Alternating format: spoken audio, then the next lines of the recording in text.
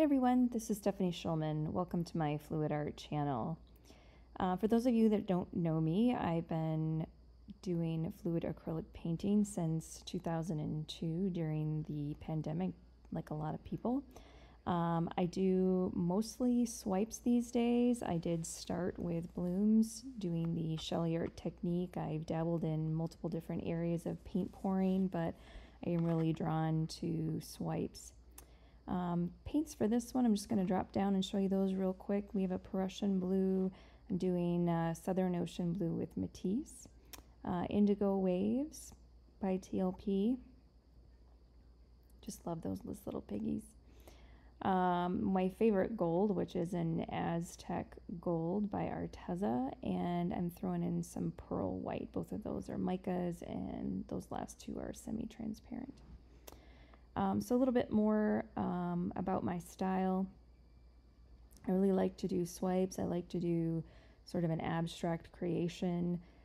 Sometimes I like to bring about um, an image that you can easily find in a painting, but other times I just like to be very abstract.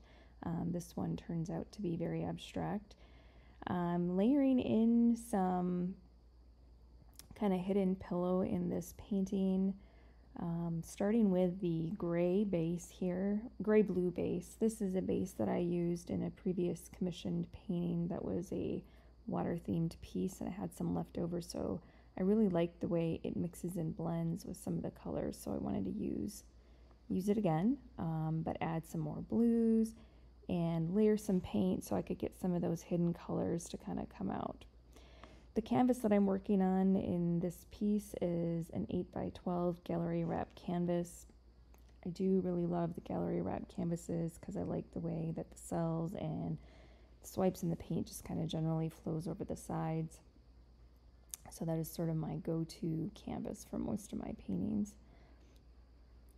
I usually try to cover the sides with my pillow um, to help kind of the flow of paint as you begin to spin and spread the pillow out. I do work in a large kiddie pool or like a bus tub for some of my smaller things to catch the mess.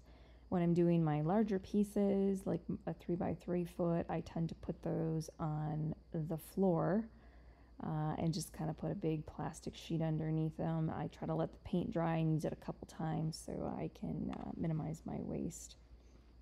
But this one, we're in a kiddie pool here.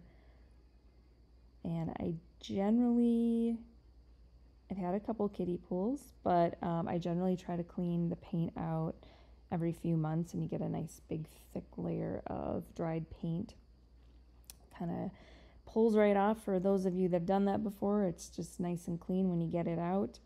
Um, I keep my cake spinner right in the middle of my kiddie pool so that um, it's just ready to go. I also have another cake spinner in my bus tub that I use for like my tiles and smaller things that I'm working on. So the first color I'm going down with here is that Indigo Waves with TLP. We're going to go in after that with the Prussian Blue.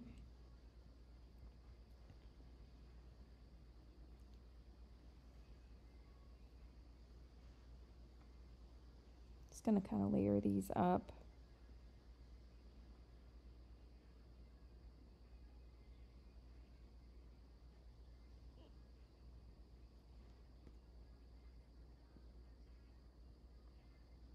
The Aztec gold that I really like. It is a semi-transparent. I used it in a lot of my pieces. I really like it in the background um, because it can really bring some highlights and some depth. And then the pearl white, um, wanted to get a good balance of lights and darks.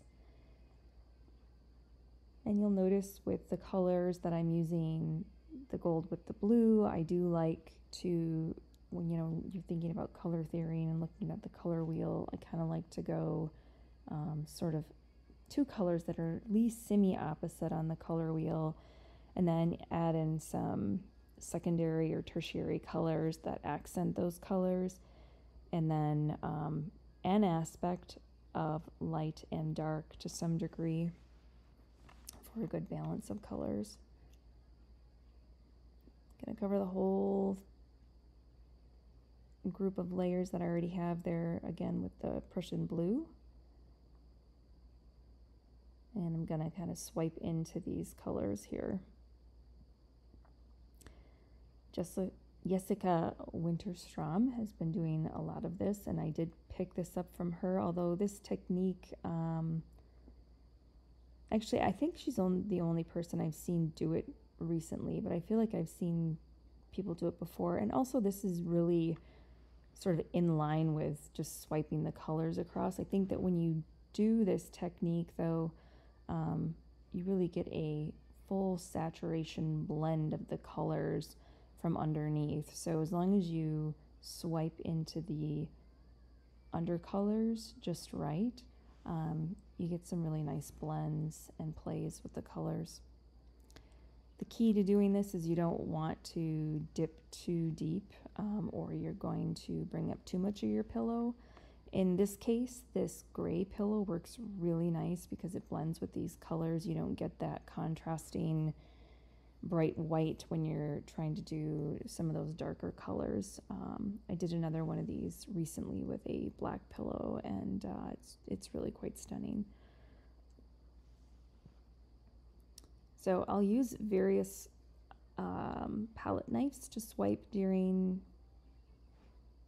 most of my swipes. Um, usually we'll start with kind of a medium swiping tool and work my way down to smaller for details. The cell activator that I'm starting with here is white, titanium white, and a mixture of like a cobalt blue. Sorry, a layered cobalt blue. It's not mixed. Um, I put the white and then the blue on.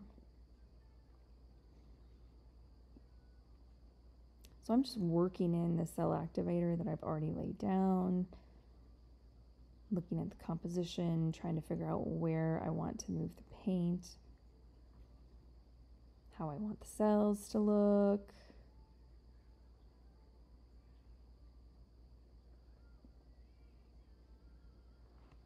You can begin to see some of the undercolors kind of coming up through depending on how deep you push into that those layers of paint there.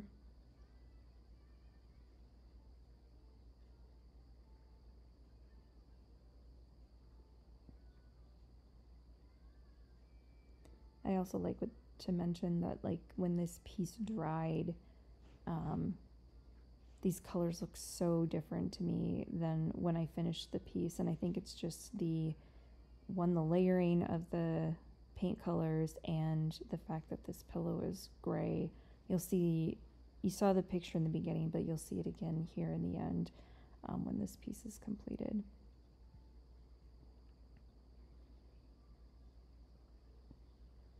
Just doing a little scooping and pulling or scooping and dragging. Um, I just recently had the privilege of being out at PourCon in Las Vegas and had the honor of working with Jessica, Jessica Winterstrom. mention her name again. Um, she's an absolute pleasure to meet and um, silly and fun and I really enjoyed her class. Took some tips and tricks away with me, so using some of that here in this painting.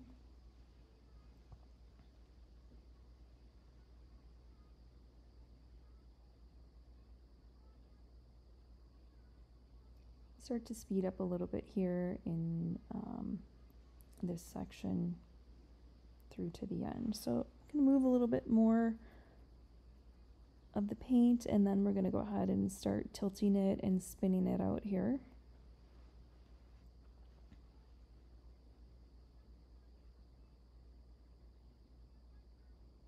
I really don't like to leave huge puddles of color, so I tend to sometimes overwork the paint and therefore don't have a ton of negative space. That's something I'm trying to work on, that I always have a tendency to lay down too much paint.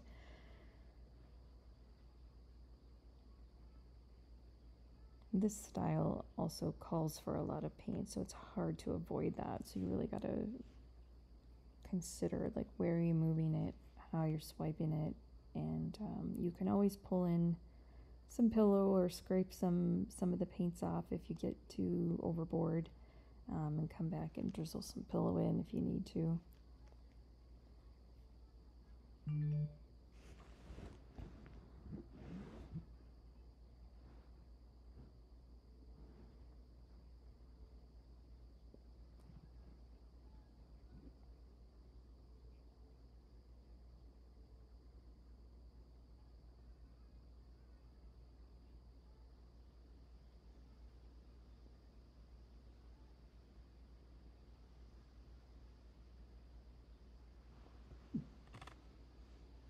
Starting to tilt here, trying to get some movement of the paint, stretching it in the direction I want it to go. I did really like the center of this, so I wanted to mostly keep it center, um, trying to be mindful, like when you're tipping it to bring the composition back to the center of the piece.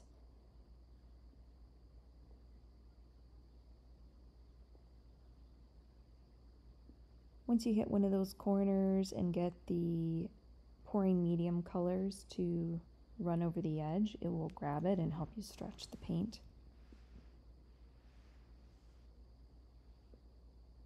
That's just one of the techniques or tricks you can use if you really want to keep something on the painting but you don't want to lose all of it. You just grab the edge of it and then kind of pull it back in or tip it the other direction. So you'll kind of notice when I'm doing each corner, I try to bring it back to the center in between tipping it to the corner. And that's to kind of keep my center similar to where I started. It will obviously not be the same. You can sometimes get wonky cells if you are too aggressive. Give it a few spins here.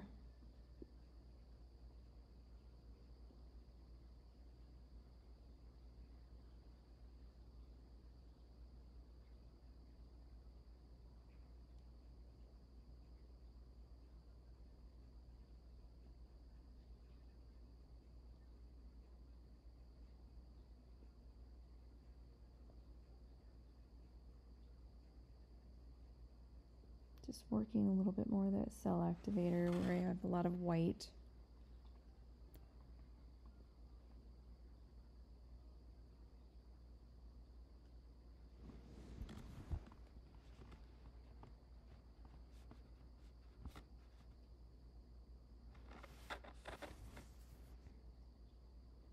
I don't always hit my pieces with a torch, but this time I did. Um, there seemed to be a lot of bubbles I think it was in the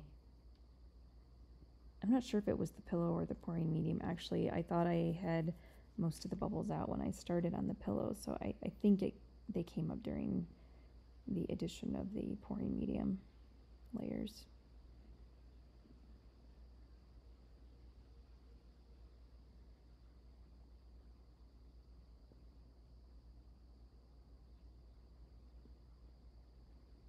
Just thinking about the piece, looking at it, trying to figure out whether I want to move anything more, do anything more to it.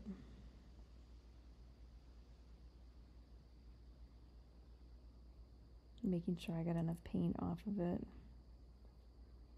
so it doesn't warp and crack on me while it's drying.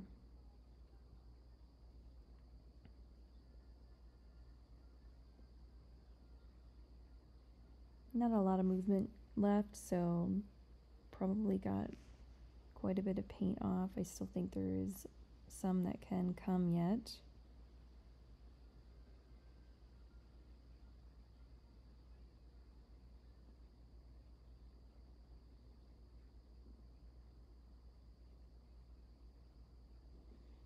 All right, well, as we wrap up here, um, if you like what you're seeing, don't forget to like and subscribe. Um, I will show you a final picture here in the end. Thank you for joining me today, and hopefully you picked something up that you can take with you. Have a good day.